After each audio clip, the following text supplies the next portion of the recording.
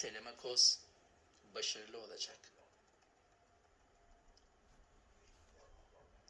Odysseus'la Penelope'nin oğlu olmasaydın pek ummazdım başarılı olacağını bu işten. Babasına denk gelen oğul az. Çoğu babasından aşağı. Azı üstün.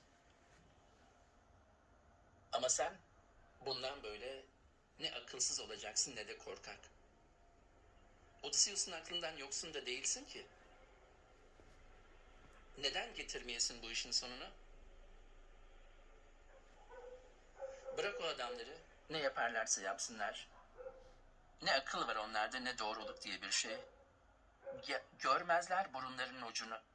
Kara ölümü. Gelip hepsini tepeleyecek bir gün.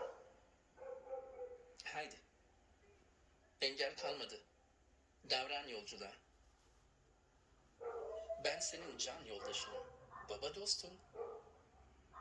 Hızlı gemini hazır edip geleceğim seninle. Şimdi eve git. Talipleri bir görün. Bir yandan da yollukları düz. Her şeyi koydurt ayrı ayrı kaplara, şarabı iki kutlu testilere koydurt. Buğday ununu sağlam tulumlara, insanlara ilik olan unu. Ben de gider toplarım halktan gönüllü kürekçi. Denizle çevrili İteka'da birçok gemi var. Yenisi var, gemilerin eskisi var. En uygun gemi hangisi ise donatırım onu. Hemencecik açılırız engin denizlere. Böyle konuştu Athena. Zeus'un kızı. Telemikos da duyunca onu hiç durmadı. Yüreği kaygı içinde yürüdü eve doğru. Taşkın talipleri sarayda buldu.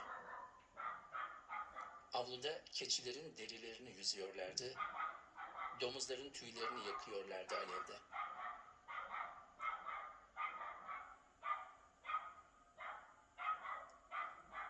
Yürüdü Antinios, gülerek. Telemakos'a doğru. Aldı elini eline konuştu diller döktü. Yüksekten atan Telemakos, öfkesini dizginleyemeyen. Bırak tasarladığın şu işi olmayacak. Eskisi gibi birlikte yiyelim içelim gel. Ne dilersen bir bir yerine getirir akalar. Gemi de verirler. Seçkin kürekçi de verirler sana. Kutsal Kaylos'a gider. Haber alırsın şanlı babandan.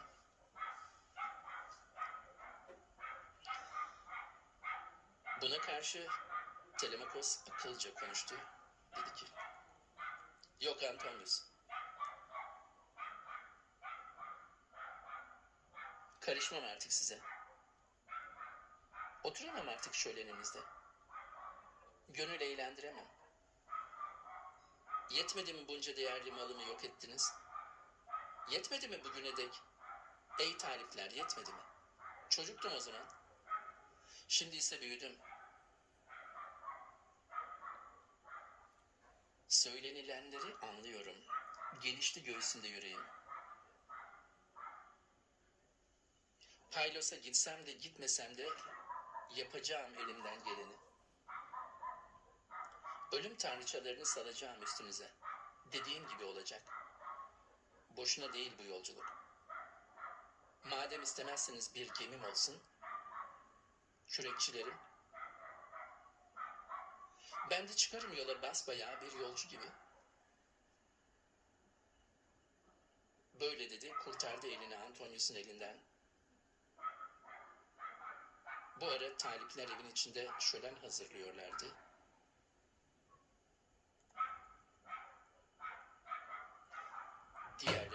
Alaya alıyordu.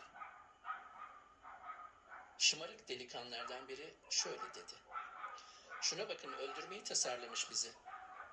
Yardımcılar getirecekmiş kumsal Paylos'tan. Sparta'dan da getirir belki. Can atar baksanıza. Toprağa bereketli Efire'ye gider de... Gider mi ki? Öldürücü bir zehir getirir oradan belki de. Şarap küpünü attı mı topumuz gümbür der gideriz.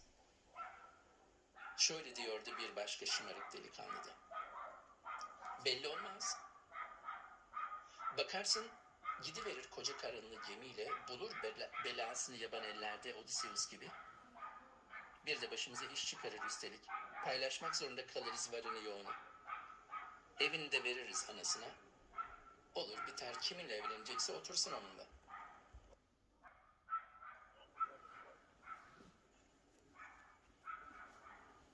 Onlar böyle konuşurken Telemakos inmişti bile babasının yüksek tavanlı hazine odasına. Bu geniş odada altın bakır yığılıydı külçe külçe. Sandık sandık kumaşlar, mis gibi zeytinyağları, yıllan... Değerli dostlar, Odysseus destanının ikinci bölümünün son 10 dakikasındayız.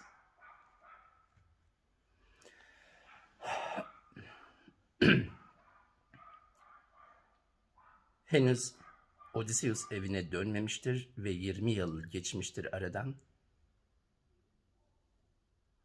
Odysseus'un evinde onun karısıyla evlenmeyi bekleyen 108 talipli vardır.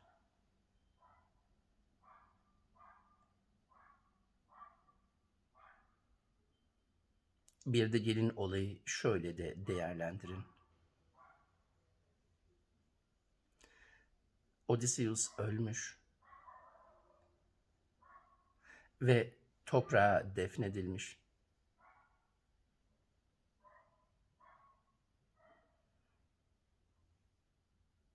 Ve insanlar onun cenaze törenine gelmişler.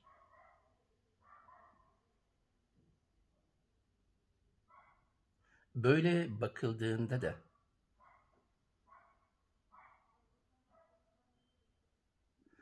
Odysseus'un ikinci bölümünün sonlarına doğru olan onun sarayındaki taliplerin davranışları, cenaze törenine katılan bir insanın davranışlarının benzeridir. Ölen birinin, özellikle de bir kralın karısıyla evlenmek için talipler bekler. Homer o kadar muazzam bir ustalıkla eserini oluşturmuş ki bu sahnede hem Odysseus'un henüz hayatta olduğu hem de Odysseus'un öldükten sonra cenaze töreninin düzenlenmesi olay örgüsünün ikisinde aynı anda en güzel ve net şekilde vermiştir. İşte Homer'i bu kadar muazzam bir destan şairi yapan özelliği onun bu derin sanatçılığı. Bal gibi tatlı şaraplarla dolu küpler. Duvarlara dayalı sıra sıra. Hiç karışmamış tanrısal içki vardı bu küplerde. Hani günümüzde cenaze törenlerinde cenaze sahibinin yemek vermesi hala eleştirilir ya.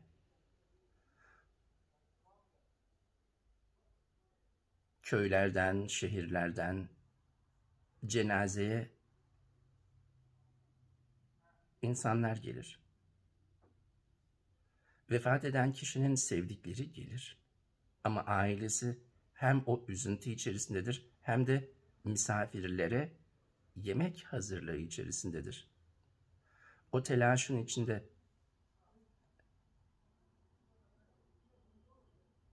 geride kalanın eşi, çocukları, şu an Telemakos'un gösterdiği e, bu isyana benzer bir isyan içindedir. Ölen kişinin geride kalan eşine ne olacağı, onun akıbeti. Alın işte. Burada Odysseus'un sarayındaki durumla aynı. Ve devam edelim. bunca çileden sonra dönmesini bekliyorlardı Odysseus'un. Kapı kanatları sağlam ağaçtandı. İki sürgülüydü. Bir kahya kadın beklerdi orada gece gündüz. Gözü tetikte. Her şeyi kollar dururdu. Euroclea'ydı.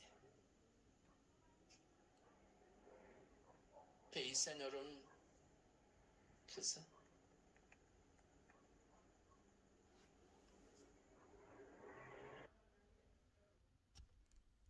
Telemakos çağırdı onu odaya dedi ki Şarap doldur dedi. İki kulplu testileri. Tatlı olsun. Hani o talihsizlere ayırdığım. Bir gün çıka gelir diye sakladığım güzel şarap var ya. Tatlılıkta ondan sonra gelenle doldur 12 testiyi. Sımsıkı kapa ağızlarını testilerin. Sağlam dikişli tulumlara un dök. 20 ölçek olsun en iyi öğütülmüşlerinden. Senden başka kimse bilmesin bunu. Yan yana diz testileri bir köşede. Akşam olunca gelir alırım onları. Anam üst kata çıkıp çekilince uykuya. Sparta'ya, kumsal Paylos'a gitmeyi kafama koydum. Sevgili babam dönecek mi, dönmeyecek mi? Anlayayım.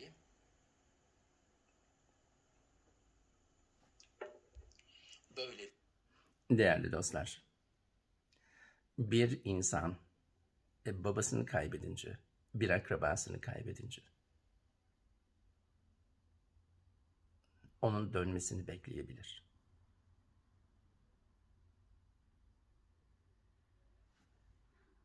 Rüyalarında belki ölen kişinin döndüğünü görür. Ya da ara sıra hayal eder. Dadısı Euroclea bir çığlık attı. Kanatlı sözler söyledi yana yakıla. Nereden koydun bunu kafana yavrum nereden? Nerelere gitmek istersin bu uçsuz bucaksız dünyada?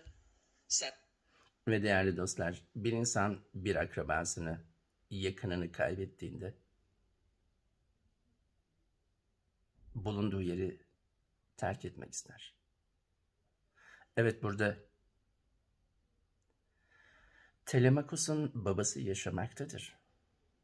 Ve İtaka'dan ayrılıp babasını aramaya çıkacaktır. Bir de gelin şöyle düşünün. Odysseus ölmüştür, toprağa verilmiştir. Odysseus'un evinde cenaze töreni düzenlenmektedir. Gelenler de sürekli yiyip içmektedirler. Telemakos babasına olan üzüntüsünden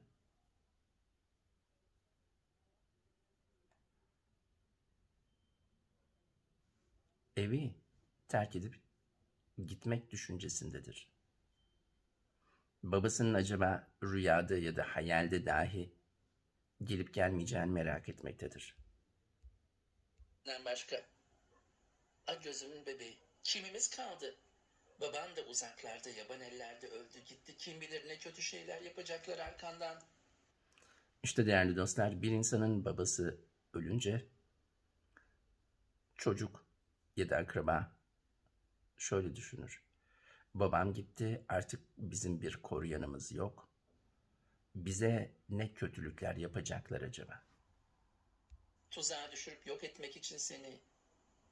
Tekmil mallarını pay edecekler aralarında. Kal burada. Göz kulak olmalına mülküne. Hasatsız denizde çile çekmek senin neyine? Akıllı Telemakos karşılık verdi dedi ki